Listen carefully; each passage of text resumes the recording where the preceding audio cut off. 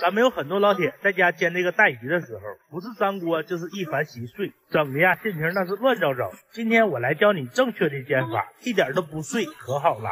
清理干净的带鱼，两面给它改成直刀，这样更方便它入味儿。然后再把这个带鱼给它切成小段，加上葱姜和干辣椒、去腥的料酒、半勺生抽、少许的蚝油，再加盐和胡椒粉，给它抓匀，腌制二十分钟。腌制好之后，抓上点干淀粉，这样口感比较酥脆，它还不容易粘锅。每天都分享一道家常菜，给个红心鼓励一下呗，非常感谢。先把锅烧热了啊，然后再加油。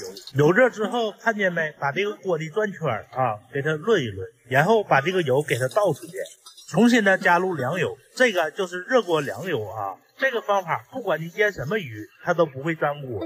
在鱼下锅之后啊，千万不要去动它，让它有一个定型的过程，要不然这个鱼皮就全粘锅上了。哎呦我去！一面煎至定嘎子，然后给它翻过去煎另一面，全程小火慢煎，大约需要五分钟。这个方法是不是非常的简单？